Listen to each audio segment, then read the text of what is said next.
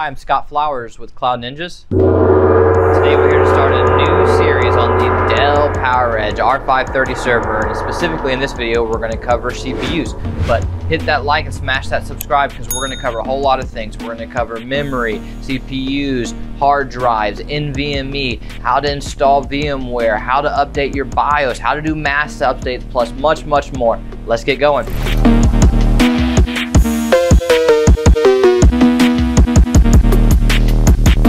Well, hey, thanks for stopping by today to learn a little bit more about the Dell PowerEdge R530 server. We're going to start this series off with CPUs, so let's get rolling. So there are two CPUs inside. It's an LGA2011-3 socket, which means it takes Intel Xeon E5 2600V3 and E5 2600V4. I will note with the V4, though, you need to make sure you have an updated BIOS, otherwise you might not be able to use the V4. We've seen uh, customers who think they have either a bad server or a bad CPU, um, and really you just need to pop in a V3 real quick, uh, update the BIOS, and uh, you'll be able to run V4s. If it's not working, that could be a, a, problem for someone out there. People ask us all the time, hey, what CPUs do you recommend for uh, my Dell PowerEdge R530 server? And really it depends on what application that you're looking to do. Uh, so what I always tell people is for low-end procs, uh, we have a couple of CPUs that we like, the E52620V3 and the E52630V3. I like those because really, if you're on a budget, those are uh, relatively inexpensive. the 2620V3 is a, a hex core 2.4 gigahertz.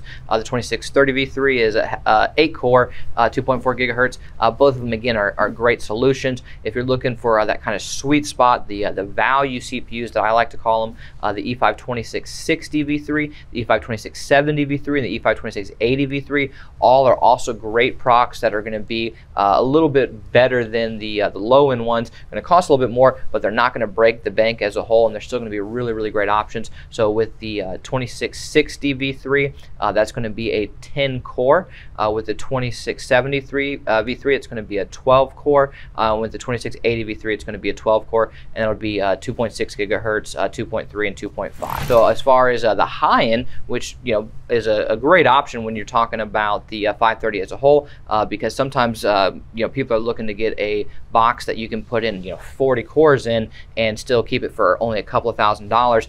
you go buy a 40 core proc server brand new, that could be upwards of you know 10 grand, right? So uh, this could be a great option if you want a high-end CPU and you don't really want to spend a ton of money. Uh, so there's several that we recommend: the E52690 V4, the E52695 V4, the E52697 V4, and the 98 V4. And again, uh, they're going to be more expensive than the uh, the value CPUs, but they're not um, uh, you know horribly expensive overall. You look at like uh, some of these Intel scalable CPUs or the AMD EPYC CPUs that are coming out right now, which are pretty awesome CPUs uh, but those are really, really expensive. Uh, I mean, some of them are two, three, four, five grand for a proc. That's you know kind of insane. Now, obviously, if you're doing uh, you know super intense applications, you're going to need that, right? But not everybody needs that. And with the uh, 2690 V4, you can get 14 cores. Uh, you can go uh, up to the next one, and it's going to be 18, 18, and 20. And we'll throw all the speeds in there as well for you. But again, those are just all great options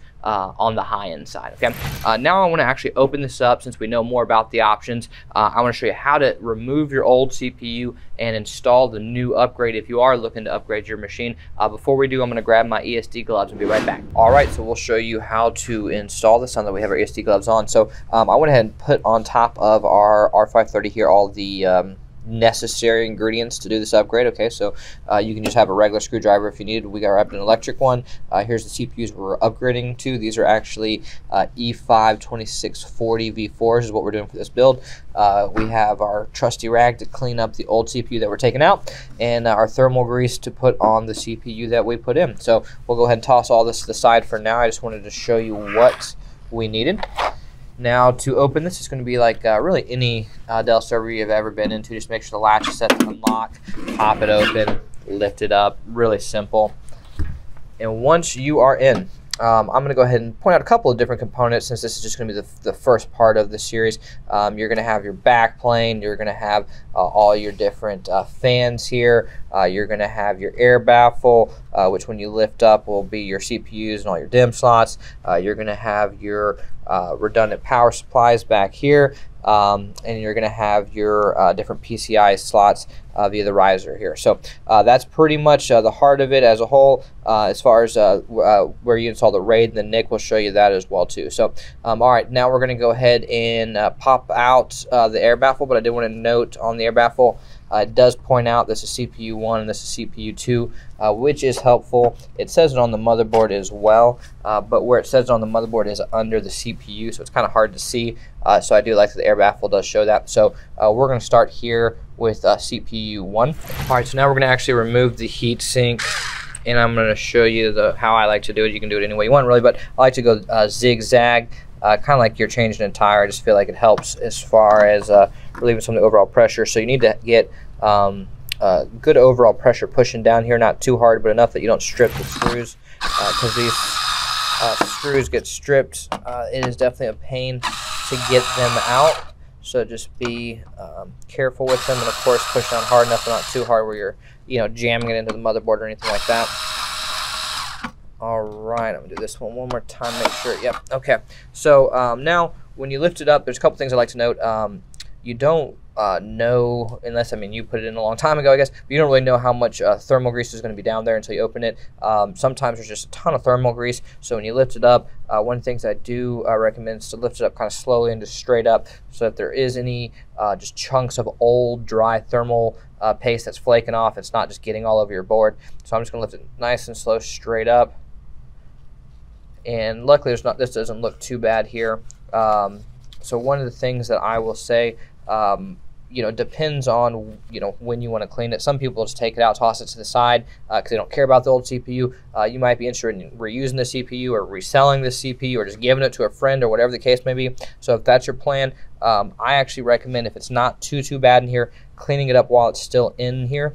Um, the only reason I like that is just because it's still firm into the socket. Uh, the only potential problem here is you got to make sure you protect the pins. We talked about 2011 pins in there. Uh, if a little bit of thermal paste gets in there, it can just wipe out uh, the whole socket. It can basically mean you have to get a new motherboard because uh, it's so hard to get that out. Uh, it's just you'll you'll see the pins. We'll scroll in in a minute. It's just so so fragile. So um, I'm going to clean this up. I'm going to just be really diligent and careful here uh, where I'm just kind of getting a little bit of this off and I'm going to try not to uh, spread it onto the brackets themselves uh, because again if it gets onto the brackets when you go to close them um, or you go to close it and put the new CPU in you could potentially have uh, the brackets drop some of this thermal uh, paste in and again my whole concern is just taking care of the machine itself um, and not uh, damaging anything while we're in here. So honestly, it looks good enough for me. Um, I'm going to take it out and I'm going to put it into our tray over here we already have some open slots to put them in. So um, it's really easy to take it out as a whole. Um, you do have to be uh, really careful though uh, because this is the point when uh, a lot of people get kind of careless um, and you can accidentally uh, scrape the part or scrape the corner over here that I'll show you in a second and just wipe out again some of these pins that you have to be very very careful for. Alright so to get it out you're just going to push this clip down you're going to push it in this is going to pop up. And same thing you're going to push this down and push it in. And when you do there's a clip right here that's actually going to release the bracket that covers the socket. So I'll show you push down here. And this right here you'll see it just goes up and down. Alright and one of the things that I like to do is if you actually push back down on this it's going to lift this up and make it kind of easy to just pull this up.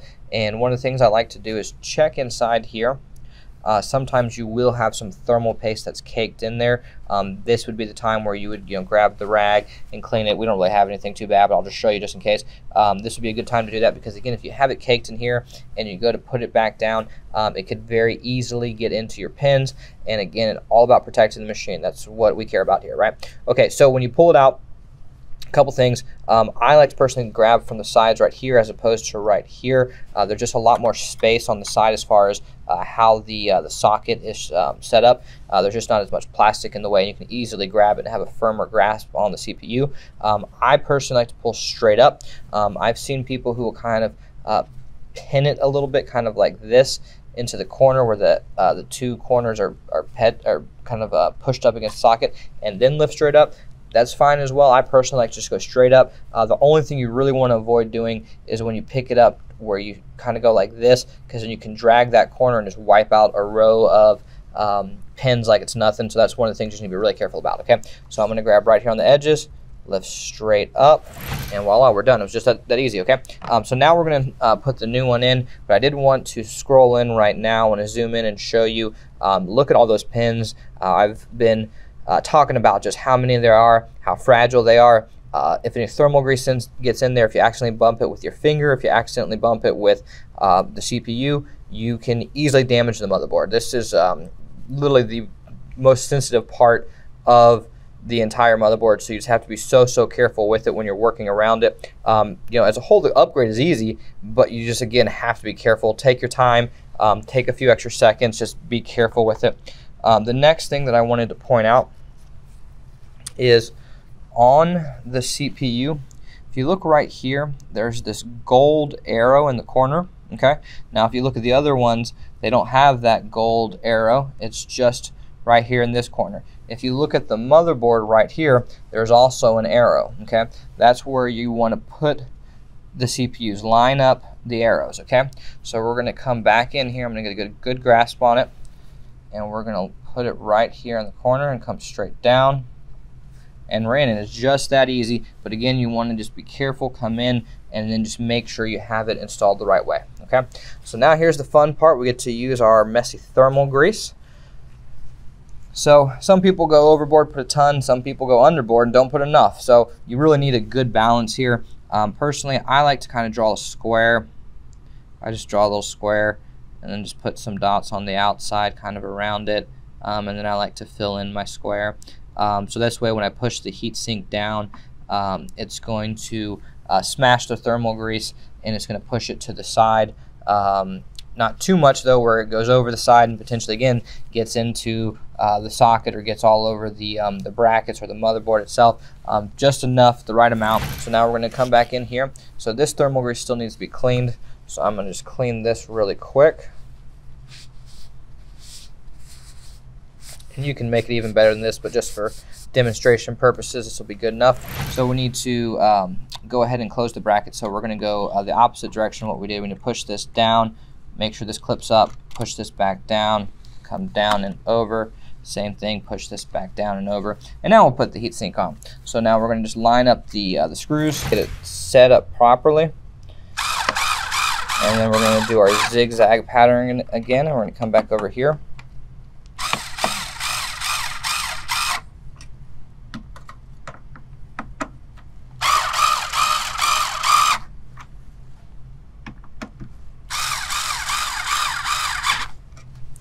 Just like that, we've upgraded our CPU. If you made it this far, hey, do us a favor. Click that like, smash that subscribe. And if you use uh, Dell in your data center or really HP, Supermicro, Cisco, IBM for that matter, uh, we would love to help you out. We custom build servers for data centers all over the world. Uh, we carry a ton of Dell 13th gen in stock, including, of course, the R530. Uh, email us at sales at cloudninjas.com. That's sales at cloudninjas.com. We'd love the opportunity to earn your business uh, and compare some quotes with your current vendors. Thanks for stopping by, guys.